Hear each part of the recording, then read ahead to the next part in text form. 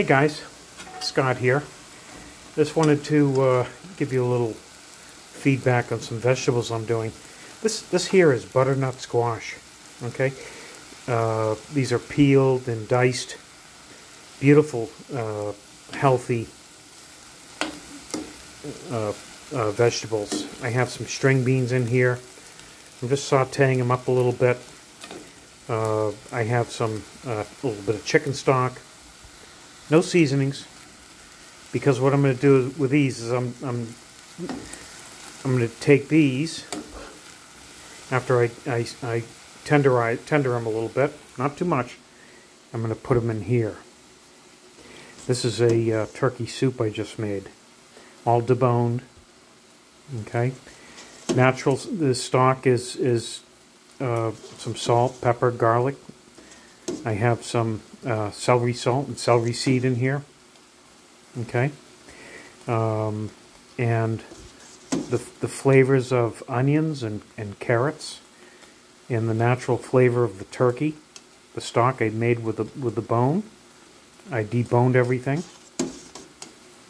Okay. Beautiful food for your body. All natural. Okay. That's just all natural fats from the turkey that you see on there. No added fats. No oils. So this here,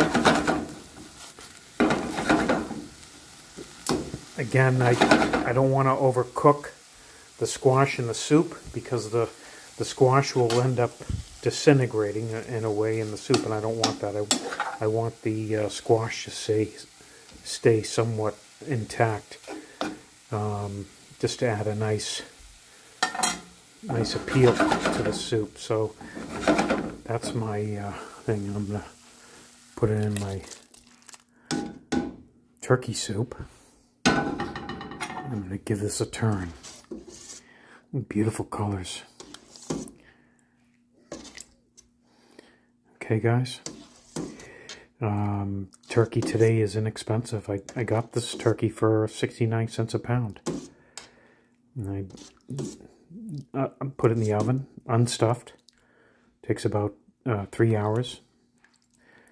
Two hours at 350 and I cover it. I do it for another hour at 300 and let it rest. Let it rest for an hour or so uh, and cool down. We have a meal out of it at that point and then I then we'll take it and, again, water the turkey, leftover turkey, and I bring it to a boil for about uh, an hour, and then I let it simmer for another hour or so. And I let it cool down. I pull my uh, turkey meat and bones, and then I add the meat back into the into the broth. Then I add my onions and carrots and vegetables. I don't add these items until after I debone the chicken. All right, because I don't want to fight all this other things when I'm trying to debone the chicken. The turkey, I'm sorry, the turkey. This is turkey soup. And that's it, guys. Just wanted to go over a little dish that I'm making on this cold day in, in January. It's about 20 degrees out. But boy, look at this beautiful stuff, huh? That'll go right to your cells and right to your body and make you feel nice and warm. Okay, guys? And let me see. Look at this. What, what beautiful food to serve your family, huh? All right, guys? Enjoy. Thumbs up. Thank you.